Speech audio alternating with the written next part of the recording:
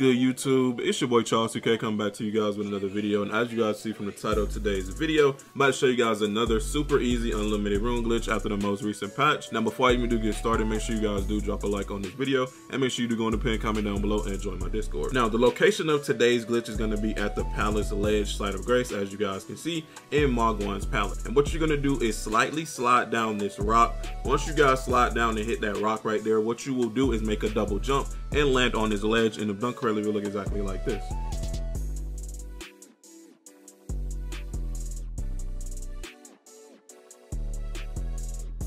Now, once you guys have landed on this ledge, you're gonna look to your right and simply do a double jump just like that and land on these rocks. Now, once you guys are here, you will move back a little bit and complete a running jump onto that little cliff right there. And basically, if done correctly, it will look exactly like this.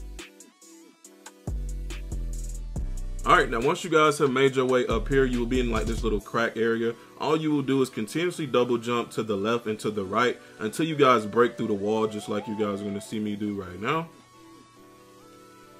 And once you guys are through this wall, all you will do is just follow the path I'm taking right now, which is forward onto this little cliff. And as you guys can see, you will look down and there should be a ledge down here. What you want to do is just follow this ledge down very slowly, but be very careful so you don't almost fall off like I just did. Now at this point, what you guys will do is make the simple double jump. And once you guys have double jump, you will just continuously attacking with the weapon in your hand. And if done correctly, it will look exactly like this.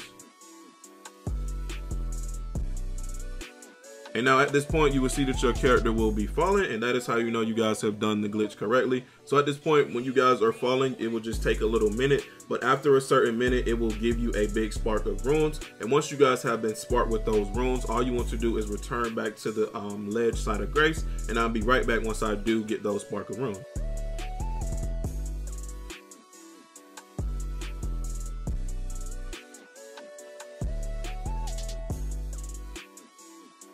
All right, now as you guys can see, I've been sparked with those runes. So what you want to do is simply go right to the ledge side of grace as soon as you are hit with those runes.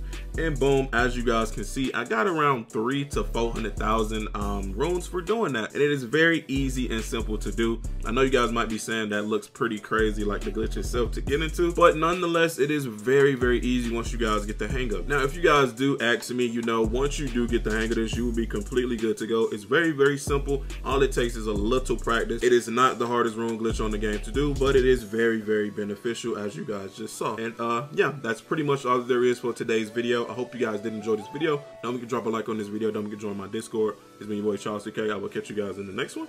I'm out. Peace.